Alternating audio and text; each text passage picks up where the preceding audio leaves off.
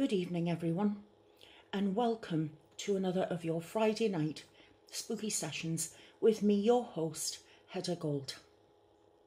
Now, tonight um, you will be getting episodes five and six of I Made a Deal with an Angel. Um, I had a word with Zithero, the author. She asked me to take out the supernatural fanfic um, title because, as she says, this is all her own work. So I'm giving her all the credit due, due to her as the sole author of this work, and wonderful it is too. I'm also giving you both episodes together because I wasn't here last week due to being under the weather. So I'm going to warn you in advance, this is going to be a longer video than the normal half hour that we do. Um, for those of you who don't like longer videos, maybe you could stop it and then come back to it. Um, or for the rest of you who want to together, that's fine. In future, um, I'm going to be taking one a week and then adding maybe a ghost story. Then I'm hopefully trying to make or keep everybody happy at the same time. But as always, you guide me. So you tell me what it is that you want and I'll do my best. Otherwise, I'm just going to have to hope that I'm doing the right thing by all of you. So, where were we when we last left Sarah? Well, she had been shot at several times by the police. She um, was, there was a bonfire made. A priest set fire to the bonfire she tried to escape from it, and um, a policewoman was determined that she was going to stay and get burned.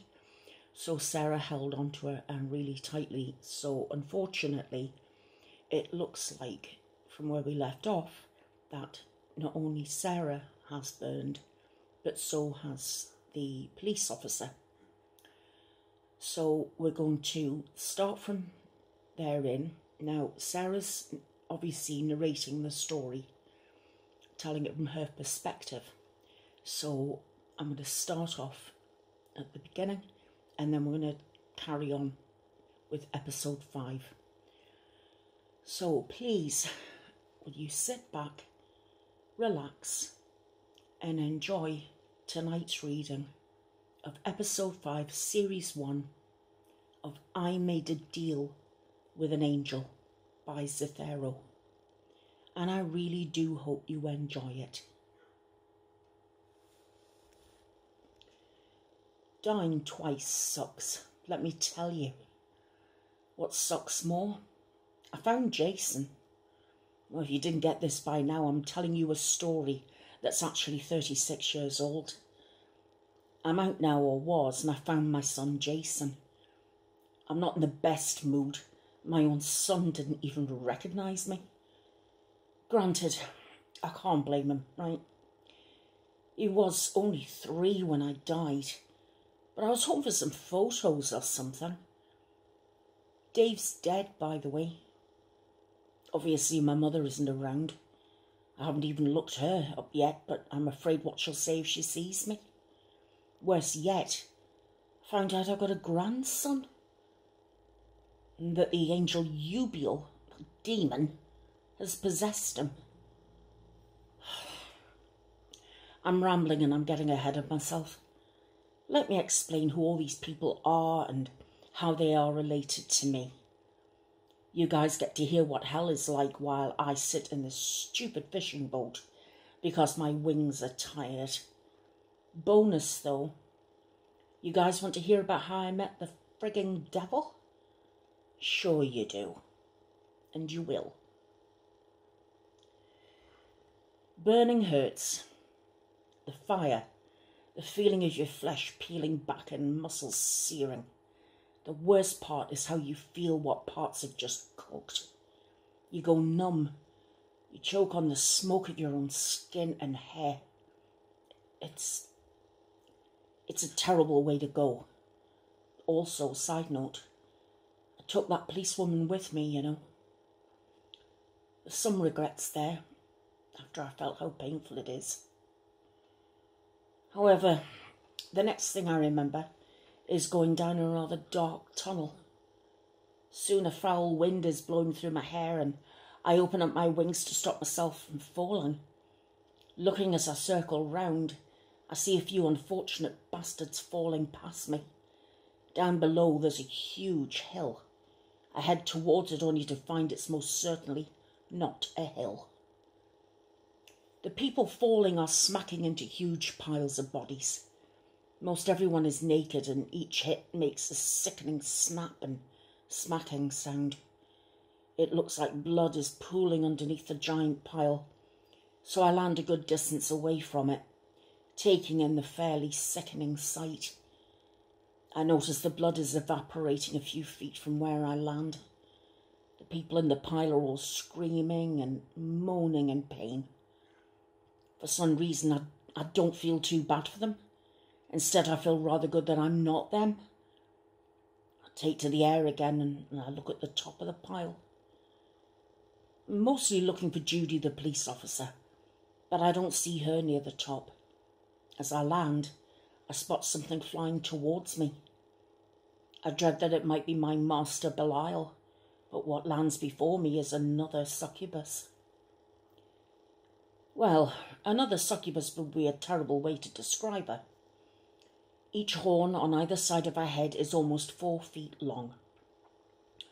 They curl out of her head and point near her back. Massive red wings close up behind her. I notice her hooves are covered in some kind of bronze boots which run up her thighs in crimson leather. Her crotch is covered in a bikini bottom. It's a leathery looking thing with a bronze triangle. The red leather motif continues up her waist as a full corset that covers her torso. A posture collar wraps around her neck. Her arms are also co- covered in red leather. However, this appears to be part of a dress where the front basically doesn't exist.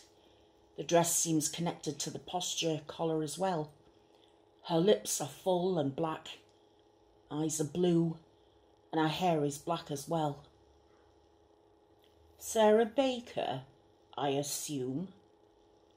She speaks with a British accent. Let's pretend that I've got a sort of American accent and my British accent becomes very much more pronounced. Side note. Who wants to know? I ask. She heaves a sigh. Bloody hell, you sound like an Irishman. I narrow my eyes. F off. She shakes her head and holds her hand in front of her, an image appearing in front of her with writing on it. I'll orientate you quickly. Welcome to hell. I am Esmeralda. I am essentially the queen of the succubus, answering only to Belial and, of course, to our lord. She motions to a huge white tower in the distance. I sneeze from the ash falling in the air. Wait, so you're my boss or something? Esmeralda nods. I get that this is difficult for one of your social status to grasp, but what with you being of slave ancestry. But please, try to keep pace. I'm an effing Harvard student, okay? I'm not some moron. Esmeralda produces a whip from nowhere and it snaps across my face. Pain sears across my cheek and I fall to the hot ground. What the F was that for? Disrespecting your queen. Now, up, wench. I'll show you to your new quarters, she says as she takes into the air. I follow her as the body pulse doesn't seem terribly enticing at the moment. As I fly through the air, I see pools of lava, demons marching around, and what looks like humans being horrifically tortured, being drawn and quartered, thrown into pits of boiling lava, that sort of thing. Esmeralda lands in a fairly not so on fire location. There's a series of small huts that each have a door with a sturdy lock. Welcome to the Fields of Lust. Here you and your fellow succubus will do favours for Belial's indebted. Occasionally you will go out and feed on some lost souls, and I suggest avoiding any of the lesser demons or anything else out there of similar or greater standing. Esmeralda closes her wings as she approaches me. We succubi are the bottom of the barrel here. We are the lowest form of demon. We do not garner any respect. We need to stick together to survive. For the first time, I sense some sincerity. Is Master going to punish me? Esmeralda shakes her head. You did what you could with what you had. Murdered two police officers, an EMT, and devoured the essence of three dolts who helped to create you. Had you actually not been in a situation where human authorities were shooting you the moment you were created, perhaps you could have done more. Esmeralda looks out to the large white tower. Lord Belial is in the Blade of Pride right now, torturing those three dullards. They failed him in a way that is indescribable. Then she looks at the end of the row of the small huts and raises her hand up. From the ground, a new structure appears. Your quarters, Esmeralda says simply. I walk towards it and when I open the door, all I see is a slab of dirt as a bed, with no covers or pillows. There's a small window in the corner. This looks like a prison cell. Esmeralda chuckles from behind me. My dear, this is hell. After all, what did you expect? Royal accommodations? At this point, Belial lands near Esmeralda and me. He's no longer wearing the suit and hat. Instead, he's shirtless, wearing a silver gorget and medieval leg armour. He's much larger than I remember, towering above me and Esmeralda at almost nine feet tall. Esmeralda falls to one knee, a tail wrapping round my neck and pulling me down. Bow before our master, wench. My knee hits the hot ground as I'm robbed of breath. At this point, I also assume my new name is apparently Wench. Sarah, how unfortunate to see you down here. Sorry, Master, I, I failed you. I say I don't know why, but I feel actual sorrow for not doing what he asked of me. It's not your fault, Sarah. Belial sighs. A wave of relief rushes over my body. A weight lifts from my shoulders and a shiver of pleasure runs through me as he speaks. Looking to Esmeralda, I can see she's in the same state I am, with our master before us. Before my eyes, the three morons who created me are thrown to the ground. These idiots. They are to suffer, Sarah. I think this is a wonderful first assignment for you, Belial begins. Devour them over and over again, and when they request reprieve, give them none. Take them until they cannot give another ounce of their essence, and then do it again and again until I tell you to cease. I lick my lips as I'm giving my orders. Yes, master. The three men whimper in front of me. And Sarah? Belial growls. Be dominant. Give them no pleasure. For the next few weeks, I make each of these guys regret having certain parts of their bodies. A weird thing happens when you drain a soul in hell. The normal mummification thing happens, but they kind of puff up again, but painfully. And over time, I notice they're getting less and less talkative. To be completely honest, I never learned their names. One day, after a rousing session, all three men started to act oddly. All three had stopped talking entirely, just laying around all day doing little or nothing, outside of breathing. My orders from Belial were the same, and I continued to ravage them, drawing less and less essence by the day. Uh, finally, after a particularly intense draining, one of the guys just didn't dry up into a mummy Instead, he continued to shrink. his body crumbling into itself until he was nothing more than a brown orb with a dim light in the centre. I was confused, but I followed my orders on the other two until the same thing happened to both of them. I stared, confused, at the three dim orbs sitting in my little hut. I walked out, not too sure what to do. The orbs aren't men to drain or devour, so I figure I can call Esmeralda. Maybe she knows what's going on. I clear my throat. Oh! Yoy, Esmeralda! A few succubi round me look at me oddly. They scoff, ignore me, and move on. Oh, God, it's like middle school all over again. I see Esmeralda approaching me casually. At first, I thought I heard boulders careening down the cliff sides and landing on a particularly unlucky serpent, causing a hissing cry of anguish. She stops a few feet in front of me, with her whip at the ready. But it was none other than my crass bog trotter. I clear my throat, mocking her accent. My good lady, I have a question to pose to you. Esmeralda squints as if I just dragged nails over the chalkboard. Never, ever attempt to speak kings to me again. I would rather hear your bastardized Gaelic than that. She adjusts herself. Now, what is it? Opening my door, I show the three orbs. Where did you get those three soul cores? She asks, kicking one with her gilded hoof. The orb lights up for a minute and then goes dim again. Those are my charges, I say. Well, now what do I do? Esmeralda closes her eyes and I watch as her horns glow, an aura extending around them before it pulls back. We await our master.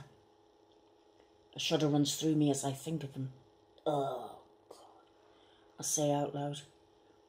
You'll eventually learn to deal with his presence, Esmeralda explains. He'll take his time, of course. She walks into my little hut with me and closes the door. So, what's a soul core? I ask her. Esmeralda gives another one another small kick, rolling them into each other. Think of them as the absolute lowest point a soul can get to. The raw building blocks, so to speak.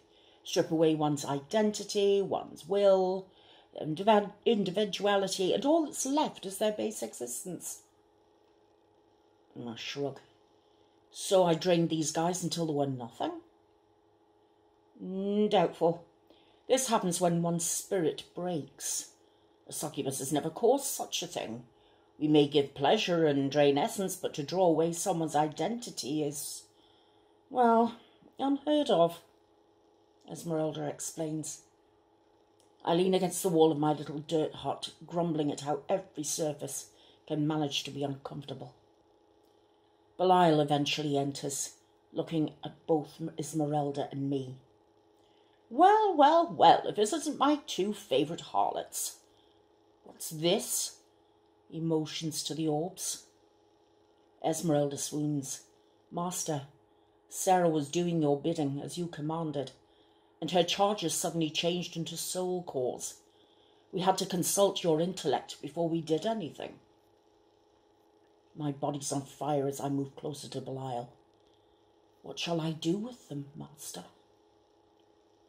Belial grumbles to himself. He would be rather agitated I did not inform him of this. Belial looks to me over. Sarah, you're going to meet my lord. Esmeralda swoons again. Oh, master, shall I come with you? Last time Lord Lucifer's lost Rose, I attended to him. He was oh so grateful and appreciative of my skills. I doubt he'll be in the mood, Esmeralda, but if you wish, I can see if he'll want you later. Perhaps you could soothe him. Belial narrows his eyes at the blade of pride in the distance. Come with me, my Sarah. Gather up those baubles. As I move to pick up the three orbs, excuse me, I grumble about how large they are.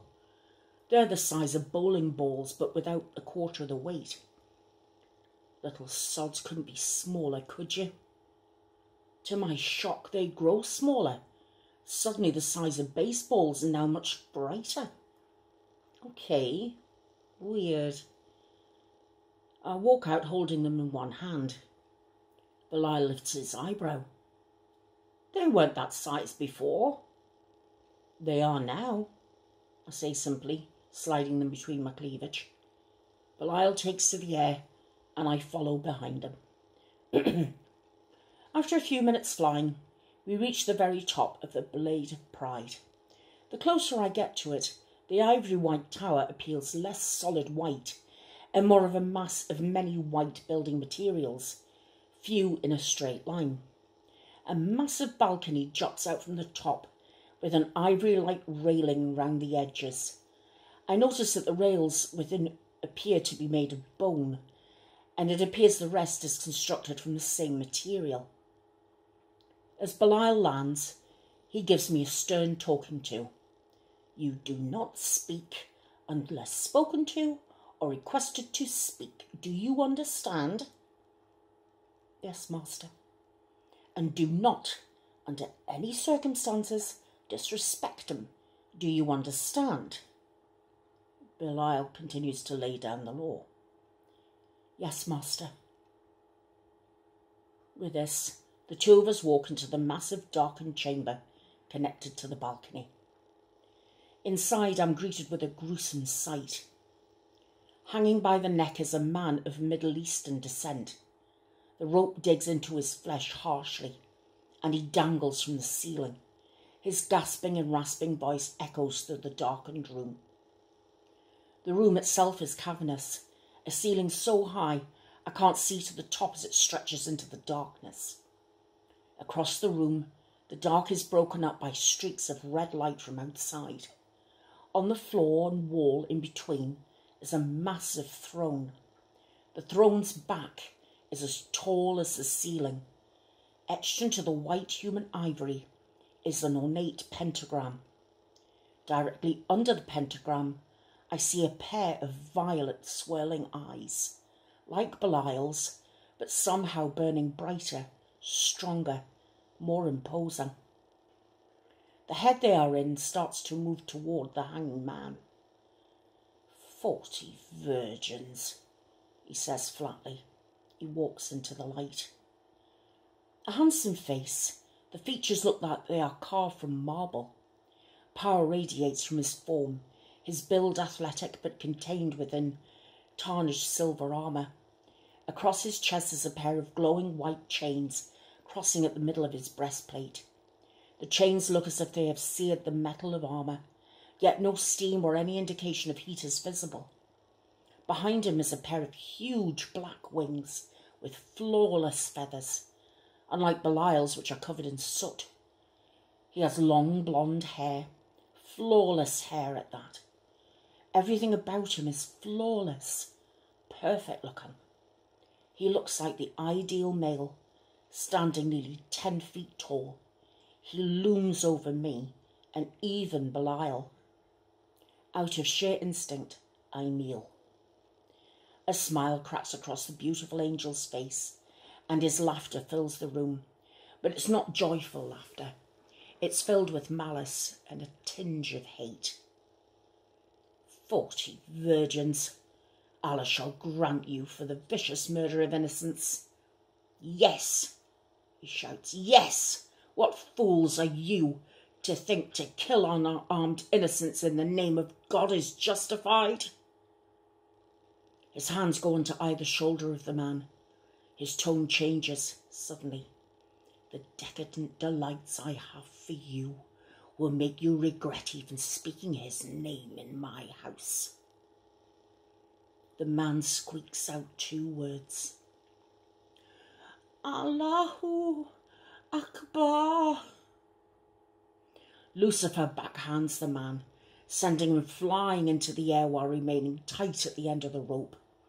He hits the apex of his swing and then flies back, his toes coming within an inch of the floor before he swings to the other direction. At this point, Lucifer seems to notice us. Belial, To what do I owe the pleasure? Belial has been kneeling all this whole time. My lord, I have an interesting development.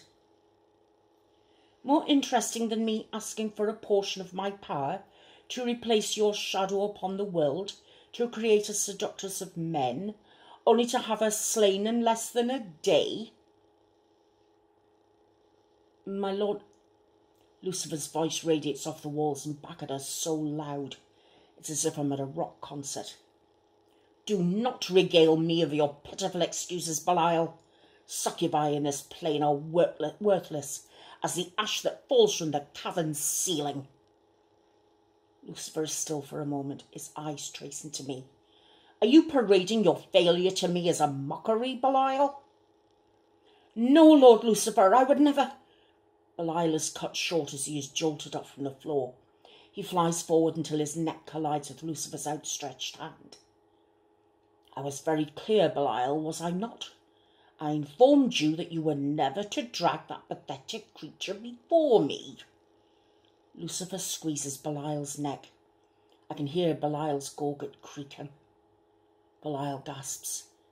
My lord, she has proven extraordinary.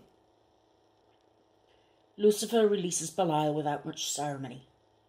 Then speak of this anomaly and leave me. Belial wheezes and motions to me. Show him the cause. I reach into my cleavage and pull out the three marble-sized cores. I place them in front of me. Soul cores. What of them, Belial? Lucifer says without paying me any mind. She made them, my lord. Lucifer walks toward me, each footfall reverberating around the room and back to me and then again. He picks them up in his hand, and as he does so, they grow dim. His eyebrow raises, and as he moves them toward Belial, they remain dim. But as he brings them toward me, they begin glowing again. Speak your name, whore. said Sarah Baker. He places the orbs on the ground before me and pinches my chin between his thumb and forefinger, leaning down to me. Now, Sarah Baker, what are you exactly? His eyes swell faster and fill my vision entirely. I feel as if I'm being stripped naked, but it doesn't stop at my clothing. It feels as if he is stripping me of more than that. I feel layer after layer of my mind, my heart, my soul being peeled back. I shake and quiver under his gaze as it bores into me, as no secret of my life is left untouched, as I feel he could see things I didn't even know about myself. When he is done, I slowly piece myself back together. Lucifer slowly raises back to a standing position, turns his focus to, Be- to Belial. A word, brother. Lucifer's wing extends towards Belial quickly and then jabs into his chest, a metal like sound ringing through the air as it pierces Belial's flesh. Belial gasps, grabbing at the feather impaling him. The feather doesn't budge, as if it was made of steel. Belial steadies himself for a moment. What, what is the meaning of this, my lord? Did you know what she was, Belial? The soul you took? Sort it was? Its destiny? Belial whines. Only after I'd taken it, my lord. The feather slides deeper into Belial's chest as I look on in horror. You're a greater fool than I thought you to be if you want me to believe one like her fell for your transparent ploy. Belial winces. There's less spirituality, fewer miracles, more disease. All since your daughter ravaged the temple of the guardians, my lord. The humans are less enlightened. Belial's feather rips out of Belial's chest. Lucifer's feather rips out of Belial's chest, sorry. Belial takes a knee as he hits the ground, bleeding. The three half-wits are only proof I need of that. No advisories make for foolish human servants. Lucifer seems to spit out the word human out of his mouth as if it leaves a bad taste. From behind us, I hear a hanging man whimper again. Allahu Akbar. Lucifer turns and in an instant is by the man, his massive hand inside the hanging man's mouth. I will rip your tongue from your head, Lucifer explains as I heard fish, flesh and sinew snapping as he does just that. Every time you speak his name. And then, if you do it again, I will shove it back down your throat. Lucifer's hand dives into the man's mouth, his jaws cracking and dislocating, as Lucifer's gauntlet bulges and breaks the skin. Bone fragments pierce through the man's cheeks as he chokes on his tongue, now lodged in his throat. Lucifer starts to rant favoured of my father, made in my image to mock me. He shouts, given free will, as I gave to my own children whom he slew. The whole temple shakes. All for these monkeys!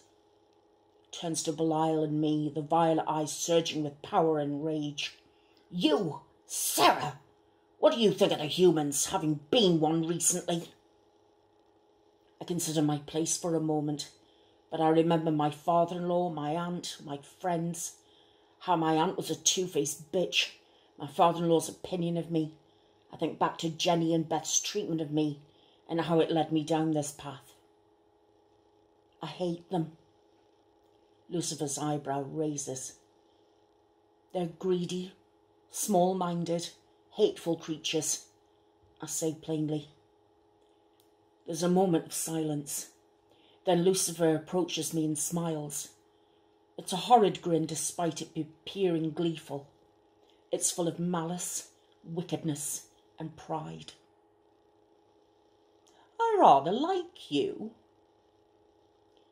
I just shuddered in relief. Belial, pick yourself up and bring me those hapless fools you called your servants. I have some tortures I'd like to try. Lucifer then chuckled. Small minded. Belial stands slowly, his wound surprisingly still opened. My lord, these three are the soul cores. I have ordered Sarah to torment them as a punishment for failing me. Lucifer looks to the three orbs. After so short a time, he appears to be in thought for a moment or two. Belial, she gets to keep them. They have an affinity for her for some reason, so they won't be much use to anyone else. My lord! Belial's interrupted. I said she keeps them, not you. Her. He points at me. Now both of you leave me and send me Esmeralda. Your succubus queen is the only one whom I can take pleasure in anyway. And then he eyed me. For now. At once, my lord, Belial says as he limps out of the throne room. I gather up my orbs, place them in my cleavage again, and help Belial to walk. Once we're outside, I look at his wound. My master, why does it not heal? Belial grunts. Wounds inflicted by Lucifer's hand don't heal as others do. If he so desired, he could slay my soul entirely. Such is our Lord's power. I tried to hide my excitement. Master, are you dying? Belial laughs. I'm wounded, but I shall not perish from Lucifer's chiding. Damn it, I thought to myself. Belial's death would have set me free. Well, that time it would have. You see, my master isn't Belial any more that all started when Esmeralda came to all of the succubus years later. Horse! Esmeralda shouted at us as we were lined up before our little huts. We are now in for a very important task. I look along the row, seeing a few faces I've grown familiar with. Lord Belial has promised one of you unfortunate wenches to a very important client. I can hear Mara, a friend of mine, start to whisper to my right. Not again. Lord Asmodai.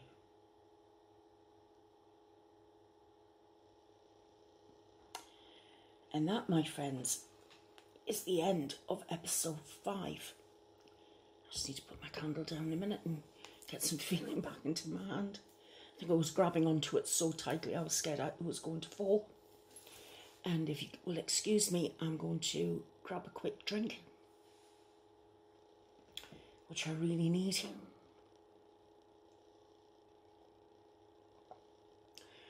So, what do you think of episode five? Um, seems like Sarah has some kind of power that we weren't made aware of before. But um, I think it'll have to come out more in the story, don't you? As to what this power is and what she can actually do. And we got to meet Lucifer. He had blonde hair. Never have imagined Lucifer with blonde hair. I don't know if any of you follow the TV show Lucifer with Tom Ellis. Oh, he's a bit of all right, isn't he, Tom Ellis? Welshman. Speaks Welsh too, you know. Lovely fella. Unfortunately married, but what can you do?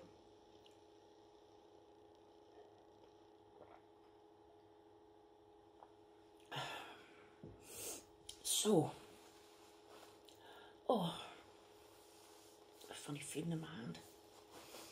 Um, sorry, usual fibro sniffles. Well, I do hope you're enjoying this. But anyway, now that I've read that one, I will now go into the next one, which is I Made a Deal with an Angel, part six.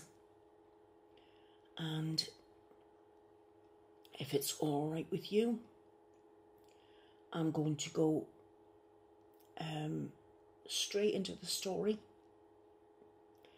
And then you can tell me what you think about it in the comments. That's okay.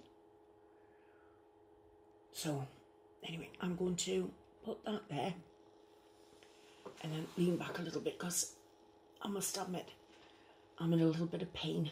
Well, in a little bit of pain, I'm talking about an 8 out of 10. I've got quite a bit of discomfort right now. Um, so I need to sort of, I can't find my comfy place, but I'm going to um, crack on and uh, read more. So if you're still sitting comfortably, then I'll begin. No, no, I won't. I can't. Not again. Mara cries out as she hysterically falls to the ground. Esmeralda looks her dead in the eyes, and I swear I saw the daggers lash out and crash into the shrieking girl. Mara whimpers. He picked me last time. He, he ripped off my arm, and he. And she broke down sobbing. Esmeralda looks to me. Sarah, help her up.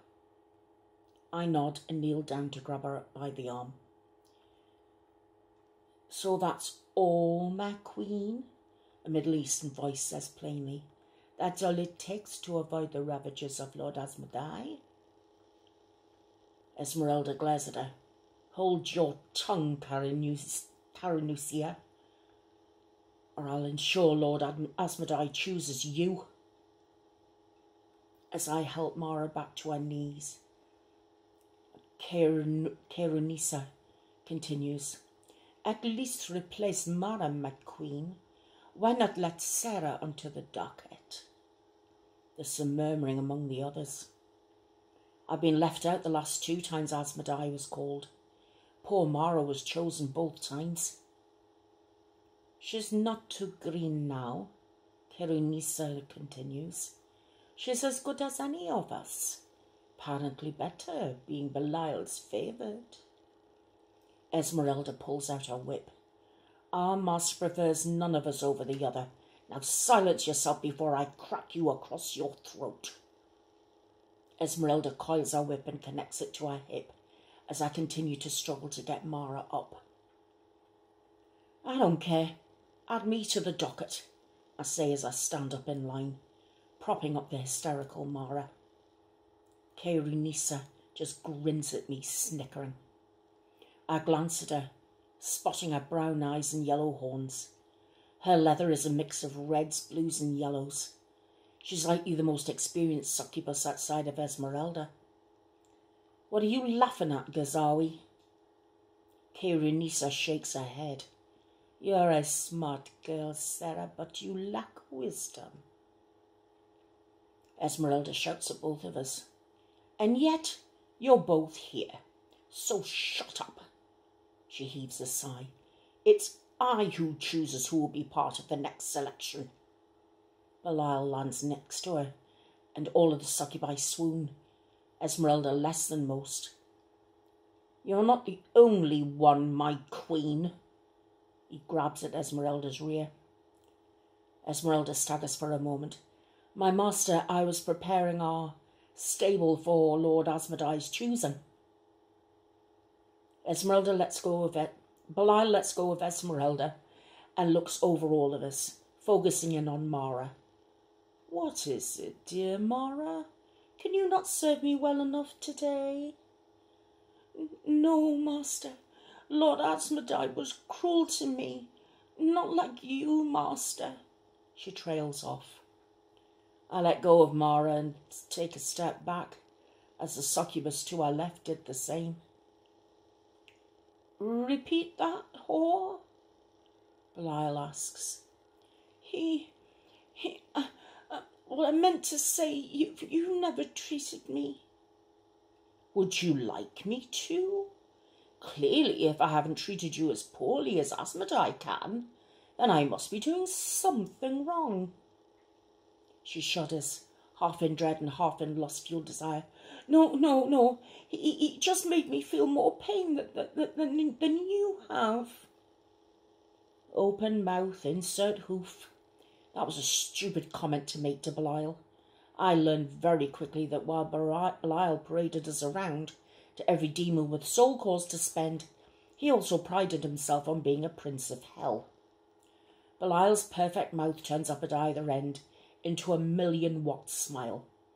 The kind of smile a lawyer gets when he wins a multi million dollar case when his client is guilty. It's a predatory smile. Mara, is it? Mara nods cautiously. Ah, well, I want you to experience barely imaginable pain. Feel it, embrace it, through every pore of your skin. And as if every nerve in your body was experiencing the pain of birth, that first stupid whore Eve gave to all you little sods. Mara screams and falls to the ground, grabbing at her body and writhing it in such extreme and intense way it looked like she'd crack herself in half. I've got a lovely stable of horse, and your task is to perform. Perform for those I give you to. I don't care what they do to you, because at the end of the day, you'll still be my beautiful, perfect representations of lust. Mara's screams are acting as a backdrop to Belial's speech. You have an eternity of horrific tortures, don't go losing your mind just because someone screws an open wound. Next one who thinks they will get uppity will get tossed into the fire until I remember you're there. Which reminds me, I think we have a whore who's been in there for some time now. Bertha, my lord, shall I pull her from the fires? Esmeralda asks bowing. How long has she been in there? Forty years, my lord. Ah, what's the point? Why not? And he walks off. He says, Your queen will be collecting the lucky winner once his choice is made. You all have ten hours to submit your most alluring portraits to Esmeralda.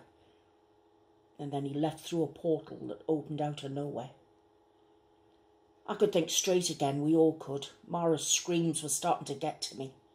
Luckily, Kerenissa managed to gag her so now we just heard muffled screaming. The charred skeleton of Bertha was whipped onto the floor by Esmeralda. Her bones were blackened by the fires, but slowly seemed to unchar and turn white. Her flesh slowly grew back, and her vocal cords strung themselves back together, The screaming from her picked up nearly as loudly as Mara. She didn't scream for as long, though, once her skin reformed and her wings and tail grew back. She was panting heavily and completely naked, struggling to get up onto our red furred hooves. I moved to help her up, along with the succubus who was next to Mara at the time. Brittany, I think her name was. I generally don't socialise much with the other succubi. Like I said, middle school all over again. Bertha looks at us, visibly shaking, her deep green eyes, bloodshot at the moment, darting around like flies. I figured I'd ask, Bertha, you okay? Her hands are around my neck in an instant, her clawed fingers pushing into the back of my neck. I burned forever. Okay? Okay? How effing dare you? She lets go of me and collapses on the ground, now sobbing. Why? Esmeralda cracks her upside of the head, knocking her to the floor. Shut up and get dressed, whore. Be happy enough that Lord Belial recalled your existence. Now get your worthless self into the dressing halls and put on something alluring. Isn't Esmeralda just a sweetheart? She's all heart, isn't she? The other succubi scurry along. I help Bertha up to her hooves. She unsteadily stands, looking up to me. Bertha wraps her wings around herself and shudders, then looks to the ground. Sorry. I sigh and I place my hand on her shoulder, walking us toward the multiple huts. Well, I asked for it. Bertha mopes off and I look to Esmeralda. There isn't a whole lot of camaraderie between us succubi. The fact that at the merest request, Master Belial could simply ask one of us any information he wanted and we would tell him doesn't really help out with that. I walk up to her. I'm ready for the portrait. Esmeralda looked me up and down, raising a perfect eyebrow. Like that, Sarah? I nod. I know you've been spared a goodly amount of all the suffering. You're smart enough to keep your nose clean and you've been around is more favourite acquisitions. I keep silent, waiting for her to get to the point that I know she wants to make. In case you've not taken heed to the signs, Lord Belial likes you. For some reason, your soul must have been worth quite a lofty sum to him. How, I don't know. She looks to where Belial had arrived from, the Tower of Lust, a huge black spire reaching into the air but offend him and you will end up worse than that unfortunate one. She gestures to Mara, who was still writhing in so much pain. I heard a limb snap as she writhed around. Obedience is going to be the sole way you can survive, and so far you've been well enough to be good and obedient. I raised my eyebrow. Well, as good as one can be down here. You have to realise there are worse fates. I looked down at my own leather clad hooves. It's still hell. Obviously, Sarah, what do you expect? Take my advice and make the worst of the worst situations. Keep your head down and mouth shut. How is it you think I came to where I am? As he collects more whores, he may be seeking out another to work under me, but above the others. And while he has not said so, my assumption is he would either choose you or Kerunisa, but you must remain vigilant and proper. Do not cross his good graces, bog trotter. This might not sound motivating, but down here it was the closest to a rah-rah go Sarah I was ever going to get. I understand. Look, just still take the portrait. I look up, smiling with my pouty lips, wrapping my wings around me, lowering them ever so slightly to give a bit of cleavage, just to tease. My hair is a bit wild as I look ahead alluringly, giving a smouldering gaze to my queen. Esmeralda holds her thumb to her pointer finger and does the same with the other hand, making a ract- rectangle out of her fingers. She lines them up, and then a thin vestige of me appears within her fingers. She turns her palm up and then looks at the smoky end and burning image before closing her hand around it. Drag Mara to her quarters. I'll talk to Belial about ending her torment by the day's end. As much as I hated Esmeralda, she was the only one who seemed to give a rat's ass about us. Some would claim she only did it because it meant she didn't have to do the necessary with Belial's clients. I knew better, deep down. I think she actually cared. She never showed it, though. I shot Mara into our quarters, just as Kairanisa shows her face. You will be a broken woman, Sarah Baker, she says, taunting me. So what? Then I'll be you, Kairanisa Gazawi, a taunt back. Kairanisa laughs. You're a foolish girl, you know that? Not my fault the summoner's got me killed after a few hours of my rebirth.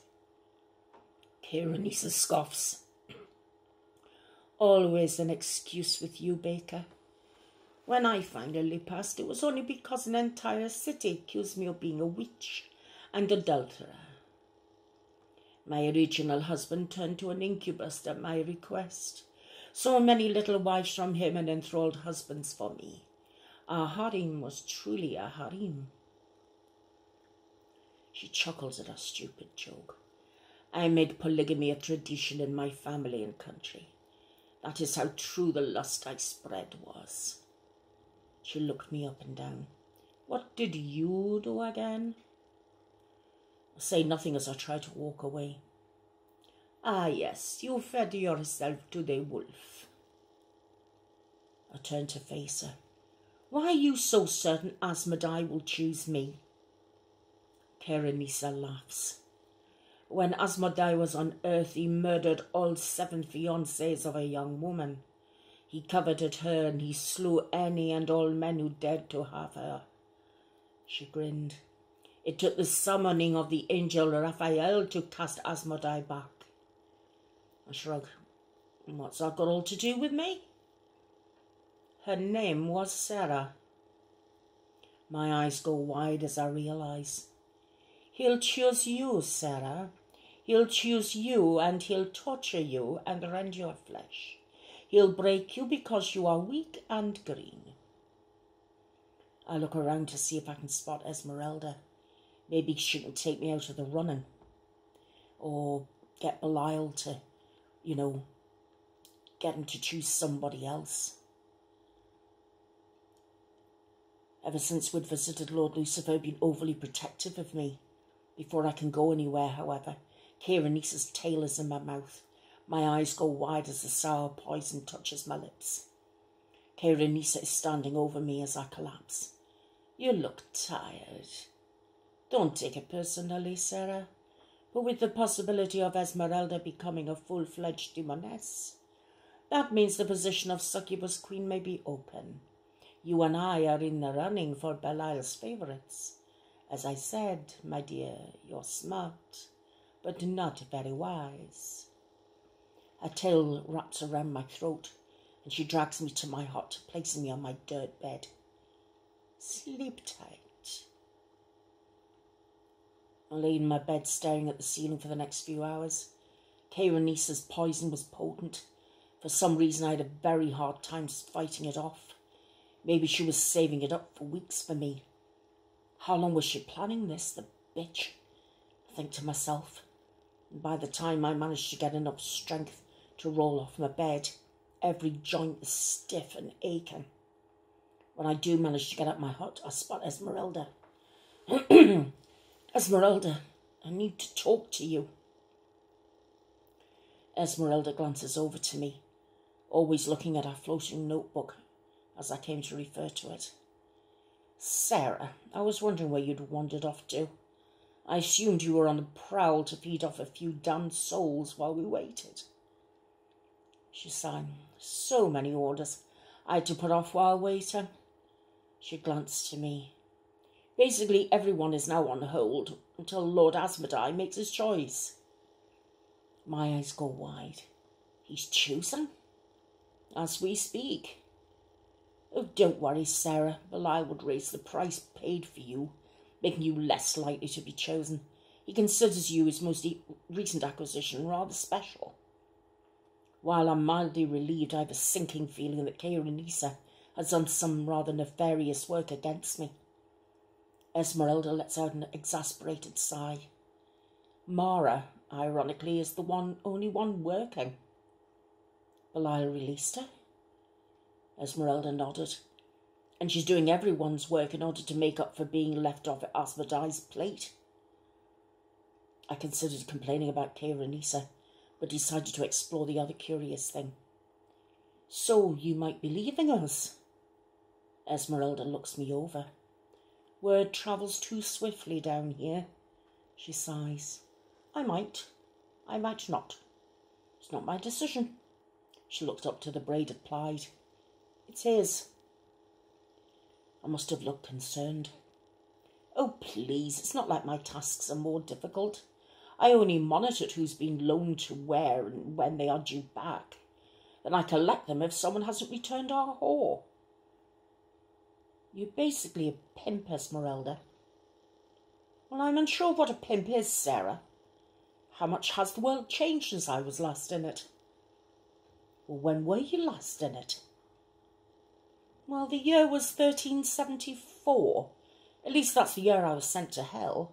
I'd been on Earth for a good 200 years prior. It's funny, I never asked any of the other girls this. Shrugging, I tried to list some changes. Well, we have steel ships. Humans can fly in vehicles called planes. Uh, no one uses horses anymore. We have cars that we can drive that runs on gas. We landed on the moon. That was cool. Her eyes go wide. Landed? On the moon? As in, man has set foot up there? A nod. Why? Well, we had a fight with Russia over who had the best economy, and well, we figured we'd try and get to the moon first. I explain. Esmeralda looks to her notepad, perplexed. In my time, the most difficult task in a war was determining alliances and what family could and couldn't be trusted. She chuckled. Travelling to the moon to prove your superiority. What an odd thing to do. Her book flashes for a moment and I see my portrait appear. Esmeralda gives me a serious look. I, I thought you said Belial would raise my price. Esmeralda looks to the book. Seems he did.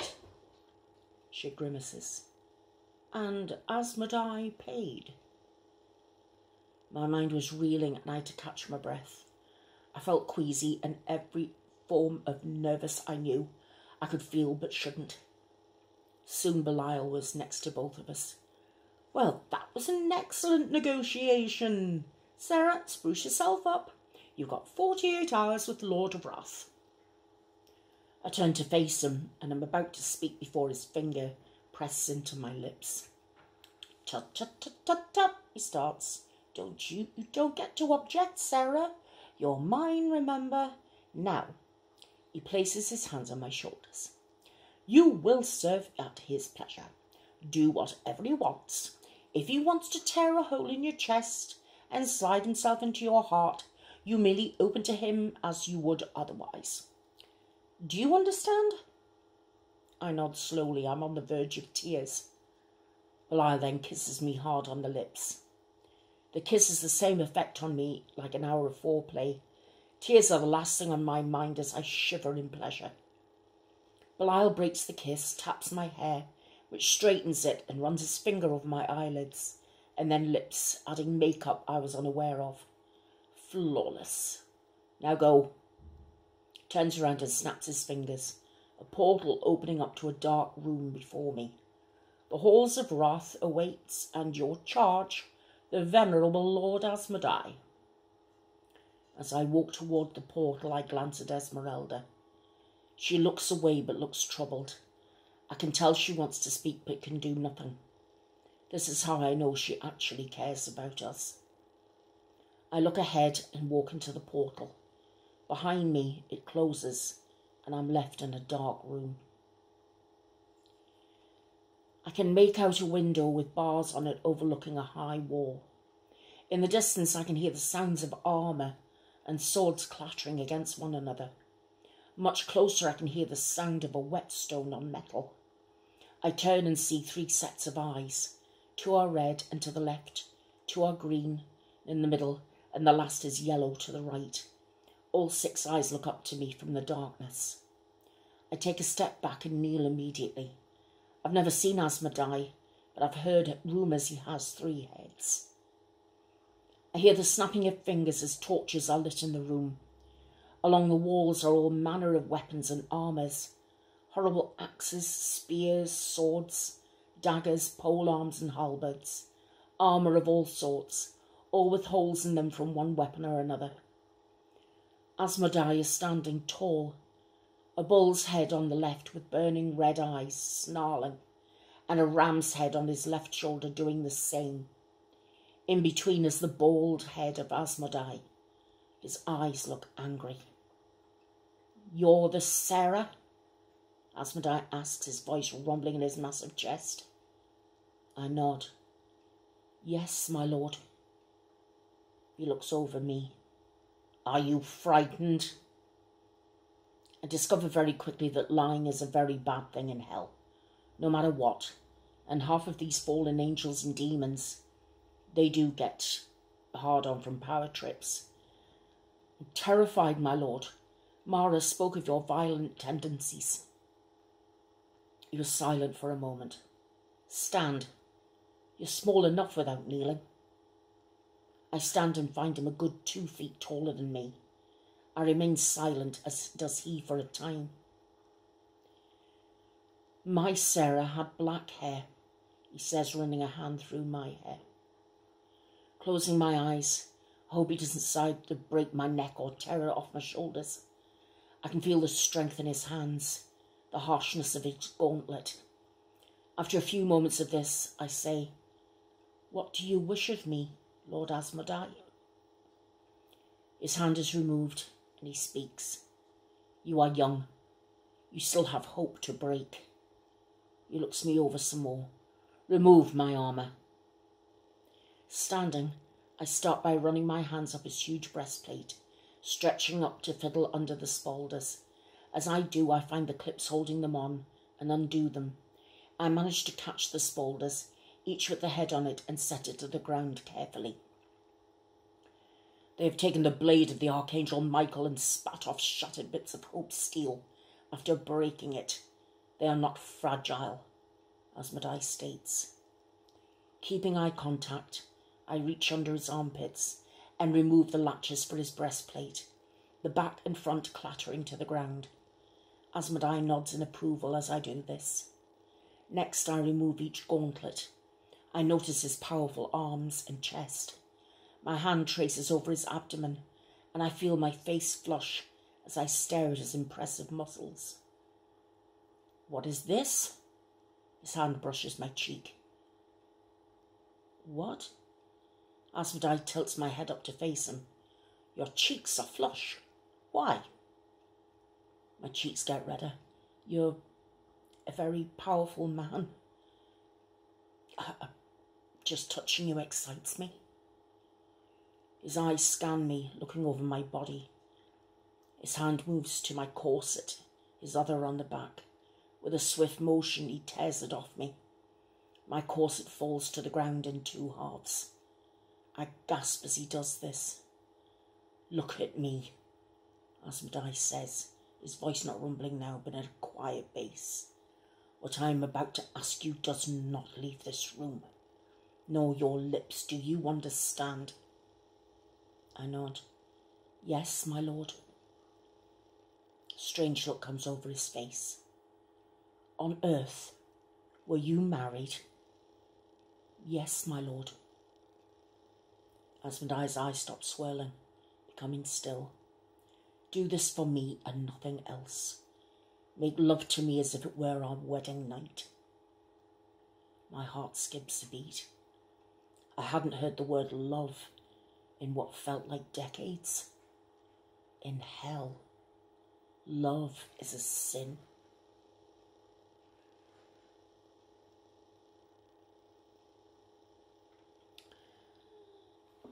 And that, my friends, is the end of episode six. So, what do you think of that? Did you enjoy it? Ooh, we've gone just past an hour.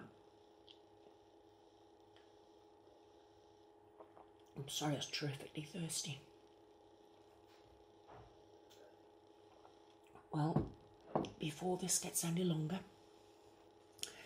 I'm going to ask you to please leave your comments for me. Let me know what you thought of episode 5 and episode 6. And next week, I'll just be reading episode 7 and I'll find a little ghost story to go with it. And hopefully, everyone will be happy. But until then, I want to say thank you very much for being here. Thank you very, very much for watching. I do hope you enjoyed these stories. I know I have immensely. And I hope you all have a wonderful weekend. I hopefully will see you all again very, very soon. So, in the meantime, I'm going to say I love you all, which I do, and I'm going to say good night to you. Take care, everyone. Good night.